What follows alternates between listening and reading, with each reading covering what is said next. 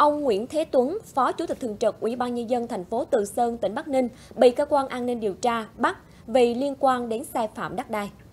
Sáng nay, Công an tỉnh Bắc Ninh xác nhận thông tin trên và cho biết vụ việc đang được đơn vị báo cáo Thường trực tỉnh ủy, Ủy ban Nhân dân tỉnh Bắc Ninh để thông tin đầy đủ đến báo chí trong những ngày tới. Thông tin ban đầu, ông Nguyễn Thế Tuấn, Phó Chủ tịch Thường trực Ủy ban Nhân dân thành phố Từ Sơn bị bắt vì liên quan sai phạm đất đai diễn ra từ thời điểm ông giữ chức trưởng phòng tài chính kế hoạch thị xã Từ Sơn, nay là thành phố Từ Sơn. Liên quan đến vụ việc trên, Công an tỉnh Bắc Ninh cũng đã bắt giữ ông Phạm Quốc Tuấn, Phó Giám đốc Sở Tài chính tỉnh Bắc Ninh và một trưởng phòng của cơ quan này. Tòa án Nhân dân tỉnh Khánh Hòa quyết định sẽ đưa 7 bị cáo trong vụ án hình sự ra xét xử sơ thẩm công khai.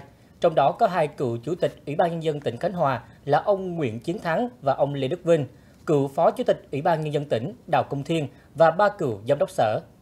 Ngoài các bị cáo là cựu chủ tịch, phó chủ tịch Ủy ban Nhân dân tỉnh, còn có hai bị cáo là cựu giám đốc Sở Tài nguyên và Môi trường Lê Mộng Điệp và Võ Tấn Thái, cựu giám đốc Sở Xây dựng Lê Văn Dẻ, cùng bị cáo Trần Văn Hùng, cựu chi cục trưởng chi cục quản lý đất đai Sở Tài nguyên và Môi trường. Tất cả 7 bị cáo đều bị truy tố về tội vi phạm các quy định về quản lý đất đai tại hai dự án ở núi Chiến Khúc, thành phố Nha Trang. Trong đó, trừ bị cáo Hùng được tại ngoại, cấm đi khỏi nơi cư trú, cả 6 bị cáo còn lại đều đã bị bắt và hiện đang bị tạm giam tại trại tạm giam Công an tỉnh Khánh Hòa. Theo kết luận tại cáo trạng của Viện Kiểm sát Nhân dân tỉnh Khánh Hòa, 7 bị cáo đều có hành vi vi phạm khoảng từ năm 2011 đến năm 2015 trong quá trình cho phép công ty trách nhiệm hữu hạn sản xuất và xây dựng Khánh Hòa thực hiện hai dự án tại núi Chiến Khúc. Đó là dự án sinh thái tâm linh Cửu Long Sơn Tự và dự án biệt thự sông núi Vĩnh Trung. Một clip được đăng tải trên mạng xã hội ghi lại cảnh người đàn ông ném từng cọc tiền mệnh giá 500.000 đồng, 200.000 đồng xuống đất tại khu vực có dấu hiệu phân lô trái phép khiến dân mạng xôn xao. Chủ tịch Ủy ban Nhân dân huyện Đất Đỏ, tỉnh Bà Rịa Vũng Tàu đã chỉ đạo công an huyện xác minh vụ việc thanh niên có hành động phản cảm, ngồi trên ô tô, rải tiền xuống đất gây xôn xao dư luận. Lời thanh niên này trong clip, ông bà ta nói muốn giàu nuôi cá, muốn khá nuôi heo, mình muốn giàu thì nuôi đất. Sau đó nam thanh niên rải các sắp tiền nhiều mệnh giá khác nhau xuống đất và nói cho cá ăn nè. Clip quay tại đường Lê Văn Một ở thị trấn Đất Đỏ, huyện Đất Đỏ. Khu đất có tổng diện tích là 21.600 m2 do một người đứng tên sổ đỏ. Khu đất trên được quy hoạch là đất nông nghiệp nhưng hiện đang được phân từng lô, có làm đường và có dấu hiệu phân lô bán nền sai quy định. Người đàn ông 35 tuổi quê Quảng Trị cùng một số người bạn đến quán karaoke trên đường Nguyễn Thị Tú, phường Bình Hưng Hòa B, quận Bình Tân, thành phố Hồ Chí Minh. Tại phòng hát karaoke, người đàn ông lấy khẩu súng mang theo tự bắn vào đầu. Phát hiện người đàn ông bị thương, một số người mau chóng đưa đi bệnh viện cấp cứu. Tuy nhiên do vết thương quá nặng, người đàn ông đã không qua khỏi. Bước đầu, cơ quan chức năng nghi vấn người đàn ông buồn chuyện cá nhân nên đã dùng súng tự sát. Cũng liên quan đến dùng súng bắn chết người, tại tỉnh Tiền Giang, một thiếu niên 15 tuổi ở thành phố Mỹ Tho cùng bạn đi xe máy trên phố bị hai thanh niên dùng súng bắn tử vong. Cảnh sát đã bắt giữ nghi phạm, đưa súng cho hai thanh niên. Vợ hỏi mua vàng, một nam thanh niên nhanh tay cầm sợi dây chuyền, lắc tay bằng vàng lên xe tẩu thoát. Công an huyện Bắc Trà My, Quảng Nam thực hiện lệnh bắt người trong trường hợp khẩn cấp đối với Phạm Ngọc Duy, 30 tuổi, trú xã Tiên Cảnh, huyện Tiên Phước, tỉnh Quảng Nam để điều tra hành vi cướp giật tài sản. Công an tiếp nhận tin báo của chủ tiệm vàng Anh Bằng ở thị trấn Trà My về một nam thanh niên dừng xe máy vào tiệm hỏi mua sợi dây chuyền vàng loại 4 chỉ và cái lắc tay vàng loại 3 chỉ, tất cả đều là vàng 24K. Khi được chủ tiệm vàng đưa xem, người này lợi dụng sơ hở nhanh chóng cầm vàng lên xe bỏ chạy. Sau khi cướp, Duy đi xe máy đến khu vực đất trống gần khu vực dân cư chợ Bắc Trà My thì dừng xe lại, cởi mỏ bộ mũ hiểm, áo khoác, lắp biển số xe, tiếp tục chạy xe đến thành phố Tam Kỳ. Duy khai đã tiêu thụ hết tài sản cướp được. Hai người đàn ông chạy xe máy đến một tiệm sửa xe trên địa bàn thành phố Hồ Chí Minh, tự xưng là công an phường, sau đó yêu cầu chủ tiệm sửa xe mua vé ca nhạc để quyên góp tiền ủng hộ trẻ em nghèo khuyết tật. Sự việc xảy ra vào khoảng 8 giờ 30 phút sáng hôm qua. Hai người đàn ông ăn mặc lịch sự chạy xe máy hiệu Airblack biển kiểm soát 59L174114 mang theo cặp táp đến trước tiệm sửa xe nằm trên địa bàn quận Bình Tân, thành phố Hồ Chí Minh. Hai người đàn ông tự xưng là công an phường Bình Trị Đông A và yêu cầu gia đình một người phụ nữ mua vé ca nhạc để ủng hộ từ thiện cho trẻ em khuyết tật với số lượng 10 vé tương đương 2 triệu đồng. Tuy nhiên, người chồng nói rằng không có đủ tiền.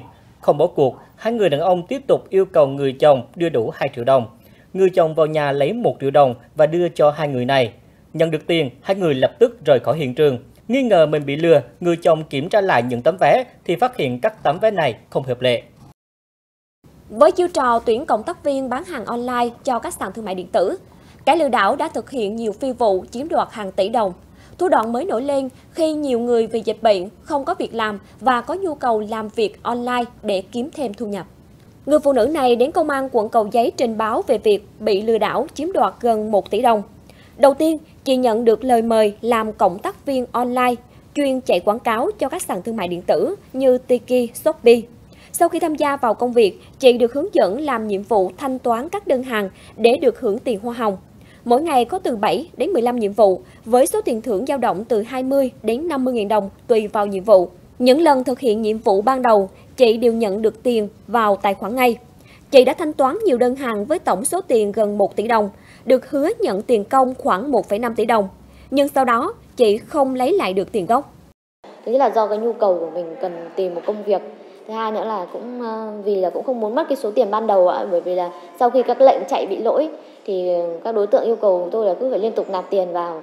Khi mà phát hiện ra bị lừa thì tổng số tiền của tôi là là chín hơn 900 triệu gần tỷ. Sau khi thực hiện ờ, uh, 5 đến 7 nhiệm vụ mà ừ, cộng tác viên người ta vạch ra thì uh, bị hại sẽ được trả hoàn lại cái số tiền gốc và thêm vào tiền lãi.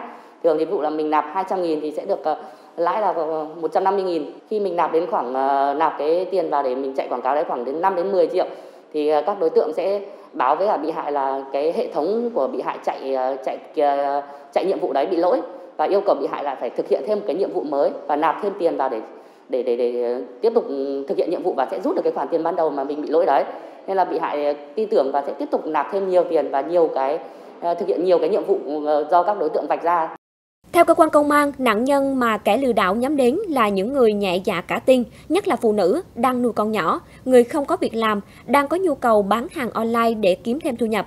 Thủ đoạn là đánh vào lòng tham của bị hại, Ban đầu, cho những bị hại được hưởng lợi dễ dàng, vẽ ra một mức tiền đầu tư thấp lại cao, công việc nhẹ nhàng, lợi nhuận hấp dẫn để dẫn dụ. Các kịch bản thủ đoạn này dễ đi vào lòng người. Người dân cần hết sức cảnh giác bởi không có việc gì nhẹ nhàng, đầu tư ít tiền mà tạo ra siêu lợi nhuận. Khuyến cáo với tất cả người dân khi thực hiện ờ, các việc làm trên ờ, mạng tìm kiếm online, người dân cần phải tìm hiểu kỹ các công ty cũng như là các ờ, nguồn cộng tác viên từ đó mình sẽ có những cái tìm hiểu để xin việc cho nó đúng đắn và có công ty có trụ sở đàng hoàng. Tội phạm lừa đảo chiếm đoạt tài sản qua mạng Internet phức tạp và liên tục thay đổi phương thức, thủ đoạn hoạt động. Người dân cần nâng cao cảnh giác trước tất cả các lời đề nghị của kẻ lừa đảo thông qua điện thoại, mạng Internet mà có liên quan đến tiền hay là tài khoản cá nhân của mình. Để vận chuyển thuốc lá lậu vào sâu trong nội địa tiêu thụ, buôn lậu xé nhỏ hàng hóa rồi cất giấu trong ba lô, bao tải và cốp xe. Khoảng 5 giờ sáng nay, tại xã Lập Quới, huyện Tri Tôn, tỉnh An Giang, Tổ liên ngành chống buôn lậu tỉnh phát hiện bắt quả tang Cao Thị Xuyên, 46 tuổi, trú tại xã Tân Khánh Hòa, huyện Giang Thành, tỉnh Kiên Giang, điều khiển mô tô vận chuyển 250 bao thuốc lá ngoài nhập lậu, nhãn hiệu Hero và Z, được cất giấu trong ba lô và cốp xe. Trước đó, tại khu vực ấp Phú Tâm, xã An Phú, huyện Tịnh Biên, tổ liên ngành phát hiện bắt quả tang Hồ Thanh Nhàn, 40 tuổi, trú tại địa phương, sử dụng xe mô tô chở một bao tải bên trong có chứa 250 bao thuốc lá ngoài nhập lậu, nhãn hiệu Hero. Những người bị bắt khai nhận mua thuốc lá lậu đem đi bán lại kiếm lời. Cũng tại An Giang, Tổ liên ngành chống buôn lậu bắt giữ một xe ô tô tải vận chuyển 56 cái loa nhãn mát nước ngoài nghi nhập lậu. Phan Thiện Trí, 31 tuổi, trú tại huyện Đức Hòa, tỉnh Long An, điều khiển xe ô tô tải chở 56 cái loa nhãn mắc nước ngoài trị giá 448 triệu đồng, nghi là nhập lậu. Tại thời điểm kiểm tra, Trí không xuất trình được hóa đơn, chứng từ, chứng minh nguồn gốc xuất xứ của hàng hóa. Chí khai nhận vận chuyển thuê số loa từ thành phố Hồ Chí Minh về huyện Tịnh Biên với 4 triệu đồng tiền công. Cơ quan chức năng quyết định tạm giữ phương tiện cùng tăng vật để tiếp tục xác minh.